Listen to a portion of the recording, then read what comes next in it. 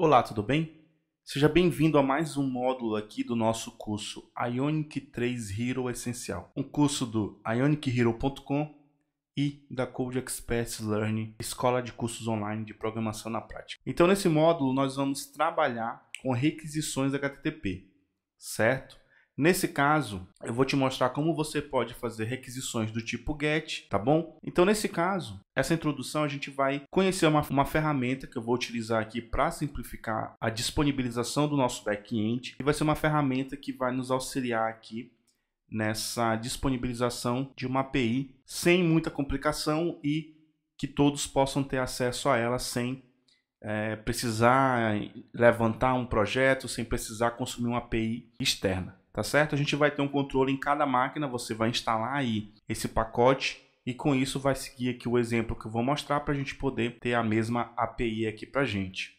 Tá bom? Então, qual é essa ferramenta? Eu vou utilizar um pacote aqui, um utilitário de CLI que a gente vai instalar com o Node, que é o nosso JSON Server.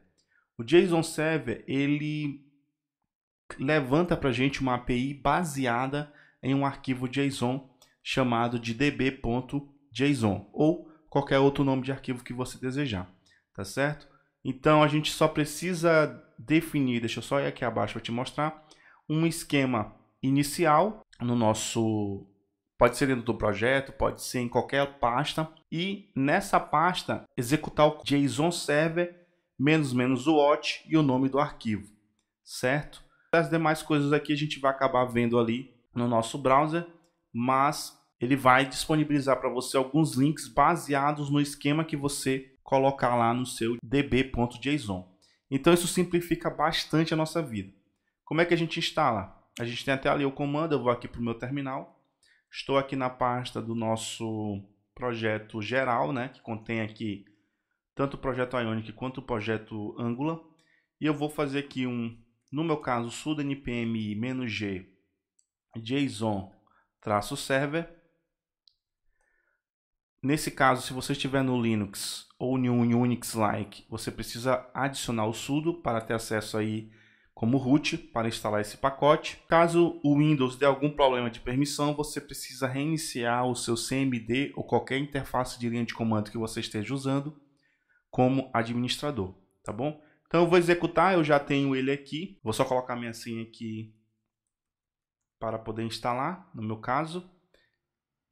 Mas eu já tenho ele aqui na minha máquina, de qualquer forma eu vou colocar aqui e vou mostrar o processo para você, certo?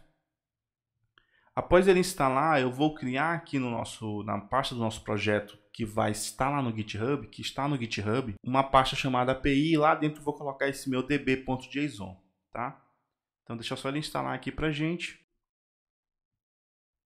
Então, ele já instalou aqui o JSON Server na versão 0.14.2. Ele atualizou aqui para mim quatro pacotes. Tá? Nesse caso, como eu já tinha, ele acabou atualizando. E o que, que a gente vai fazer? Como eu comentei, eu vou criar aqui uma pasta usando o mkd. Você pode criar também usando o seu diretório de arquivos. Eu vou criar uma pasta chamada de API. Vou entrar nessa pasta com CD, tá? E dentro dela, eu vou criar o nosso arquivo. Então, só para a gente manter aqui a utilização do nosso Visual Studio Code, como eu mostrei para você lá no começo do curso, eu vou abrir essa pasta dentro do nosso Visual Studio Code para daqui a gente já criar o, o arquivo juntos aqui. Então, deixa eu trazer o meu Visual Studio Code para cá. Dentro da pasta API, eu vou clicar aqui no botãozinho de mais, que representa a criação de um novo arquivo, e vou criar o nosso db.json tá bom? Então é um JSON normal, eu vou ter uma chave principal. E, por exemplo, se eu quiser expor aqui para gente, eh, eu gosto muito de trabalhar aqui com produtos, então eu vou colocar aqui, ó, products. Ele vai ser um array de objetos, tá bom? Esqueci aqui das aspas. E aqui ele vai ser um array de objetos, eu posso colocar quantos objetos eu quiser. Então, colocar aqui um ID, um, por exemplo, um, o nome desse produto. Posso colocar aqui Dell Inspiron, acho que esse é o nome, não, Vou deixar só o ID o nome mesmo.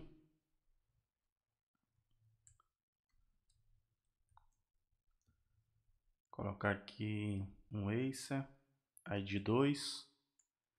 Vou colocar aqui só mais um aqui, ID 3. Vou colocar aqui um MacBook Pro.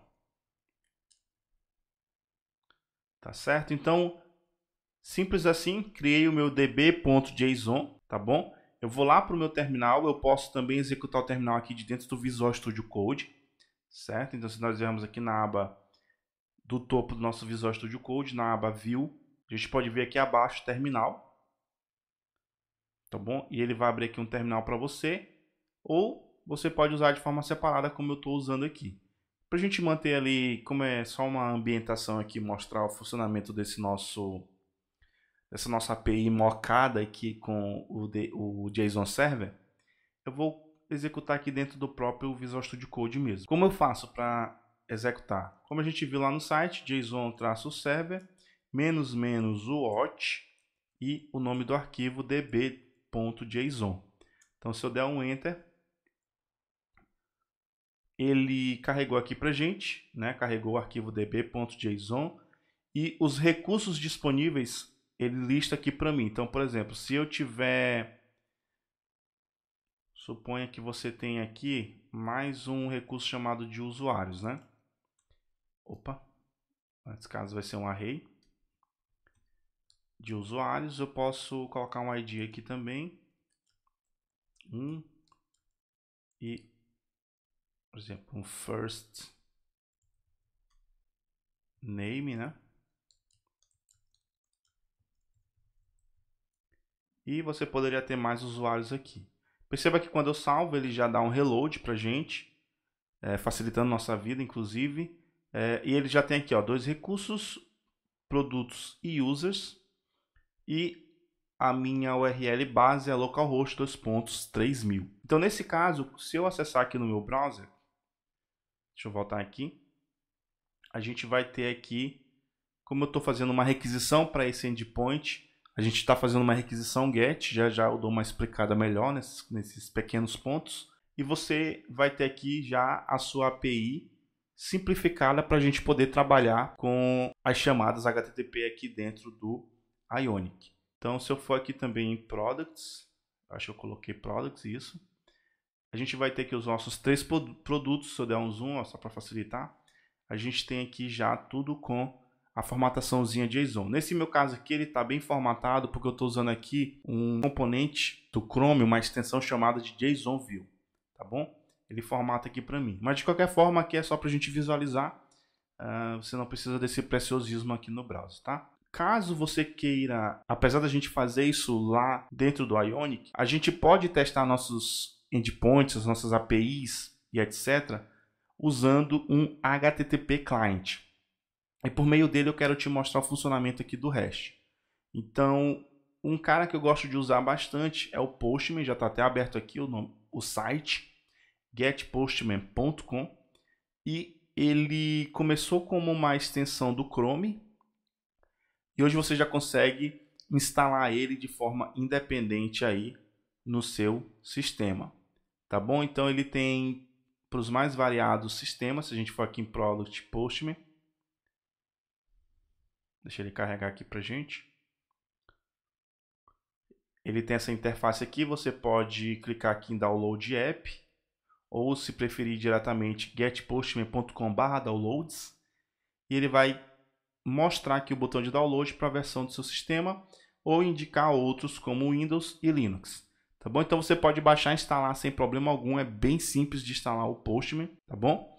E com isso, tá? Isso aqui é só caso você queira realmente testar uma API por fora, mas aqui eu vou utilizar para te mostrar de forma mais didática o consumo dessa API, para que quando a gente chegue lá no Ionic a gente entenda porque eu estou chamando alguns métodos como get, como post e por aí vai, tá? Então deixa eu só iniciar aqui o meu Postman, ele já está abrindo aqui para gente.